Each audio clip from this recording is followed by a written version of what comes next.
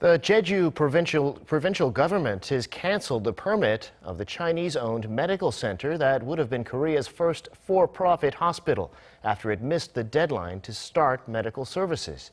At a press conference on Wednesday, Jeju Governor Won Hee-ryong said Jeju decided to nullify its conditional approval for the Shanghai based Greenland Group after reviewing the results of a public hearing conducted on March 26th. He added that Jeju has not been given a proper reason why the hospital's opening had been delayed.